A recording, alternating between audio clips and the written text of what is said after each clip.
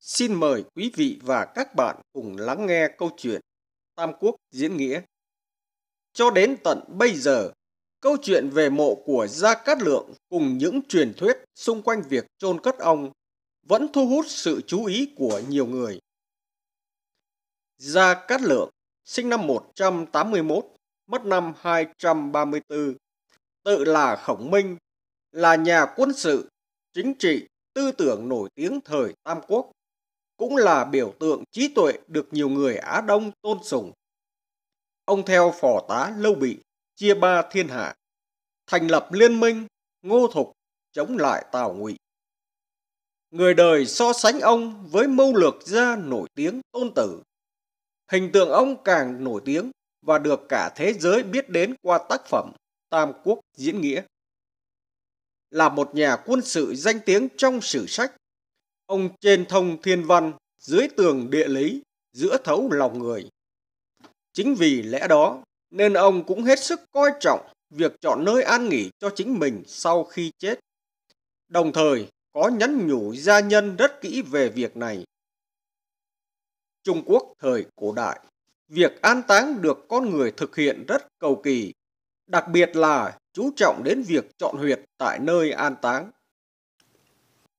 Gia Cát tiên sinh về việc này cũng đã dặn dò gia nhân rất rõ ràng và kỹ lưỡng. Trong nhiều tài liệu lịch sử đều chép lại rằng Gia Cát Lượng đã chủ động chọn nơi an táng mình trên núi Định Quân. Núi Định Quân nay nằm ở phía nam huyện Miễn, tỉnh Thiểm Tây, Trung Quốc. Sở dĩ ông chọn nơi này, đầu tiên là bởi ông muốn sau khi chết có thể bảo vệ cả một vùng biên cương nước thục không cho phép kẻ địch quấy rầy.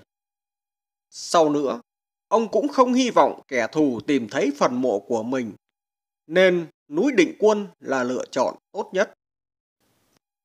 Tương truyền rằng, trước khi chết, ông dặn dò tướng sĩ bỏ xác ông vào quan tài, lấy dây thừng buộc lại, rồi cho quân sĩ khiêng theo đoàn quân rút về Hán Trung.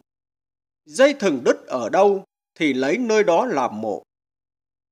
Mặc dù đại quân sư đưa ra yêu cầu kỳ lạ, nhưng vốn tôn kính và tin tưởng ông, nên các quân sĩ vẫn thực hiện đúng theo lời dặn. Khi tới núi định quân, đột nhiên sợi dây thừng rất chắc chắn đứt bật ra, quan tài rơi xuống đất. Lúc này, quân sĩ mới nhớ tới lời dặn dò của ông. Ai nấy đều lắc đầu le lưỡi sợ hãi, hốt hoảng toát mồ hôi, vội đặt quan tài xuống rồi tìm xẻng để đào huyệt. Tuy nhiên, khi quân sĩ còn chưa kịp đào huyệt, thì bỗng nghe thấy tiếng nổ ầm ầm long trời lở đất ngay sau lưng. Họ càng sợ hãi hơn nữa khi quay đầu nhìn lại, phát hiện đỉnh núi định quân bị nứt tách ra, đất đá sụp xuống vừa khít tạo thành một huyệt mộ vừa vặn với kích thước quan tài của Gia Cát Lượng. Lúc này, mọi người mới bàng hoàng bái phục, cho rằng Gia Cát Lượng đúng là thần nhân. Tất cả quỳ sụp xuống đất, chuẩn bị đồ tế lễ và run rẩy đặt quan tài Gia Cát Lượng vào vị trí trên.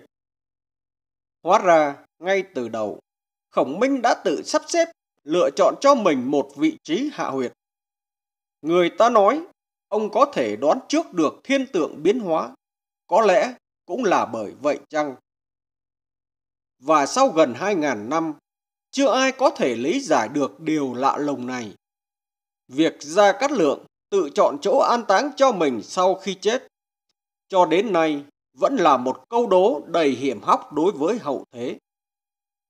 Song song với hiện tượng kỳ bí nói trên, phần mộ thực sự của vị quân sư tài ba nhà Thục Hán vẫn là một bí mật với nhân loại. Bởi trên thực tế, chưa ai biết vị trí chính xác của nó ở đâu. Ngôi mộ mà ngày nay người ta vẫn gọi là mộ thật của Gia Cát Vũ Hầu, thực tế không phải là mộ thật. Nhiều người cho rằng ngôi mộ chỉ vỏn vẹn dòng chữ mộ Vũ Hầu mới là mộ thật. Vì vậy mà người Trung Quốc đến nay vẫn còn lâu truyền câu tục ngữ. Mộ thật thì không thật, mà mộ giả lại không giả. Quý vị và các bạn vừa lắng nghe Chuyện lạ lùng trong ngày an táng khổng minh ra cắt lượng. Cảm ơn quý vị và các bạn đã quan tâm theo dõi. Xin mời quý vị và các bạn hãy đăng ký kênh miễn phí và nhấn nút chuông bên cạnh để không bỏ lỡ những video mới nhất. Hẹn gặp lại quý vị và các bạn ở những video tiếp theo.